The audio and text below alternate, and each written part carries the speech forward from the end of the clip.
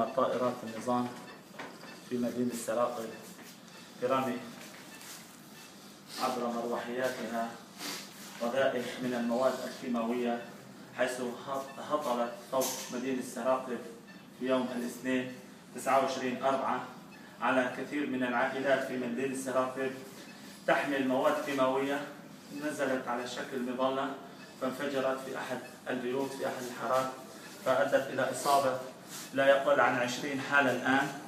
تم نقل بعضها إلى الحدود التركية ونعاني الآن في مشكلة في إدخالهم إلى تركيا يرفضون استقبالها.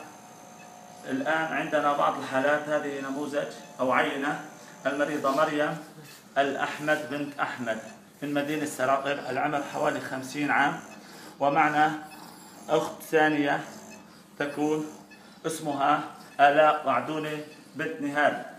وحالات كثيرة منها محمد الأحمد ابن إبراهيم ابن الأخت مريم وزوج آلاء بعدوني وحالات كثيرة تركناها في مشفى سراقل لا نستطيع علاجها لا يوجد أي علاج عندنا مجرد أكسجين وأدوية بسيطة لا تساعد على شيء. نرجو نرجو من العالم كافة من الأخوة المسلمين في العالم. إنقاذنا نحن الشعب السوري نبات تستخدمون المواد الكيماوية يا عرب بأسلام. الشعب السوري يباد حتى في المواد الكيماوية. وأنتم تنظرون والله ستسألون أمام الله.